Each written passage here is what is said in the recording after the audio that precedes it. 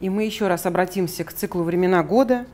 Чайковский, «Октябрь», «Осенняя песнь» исполняет Чудакова Марина. thank you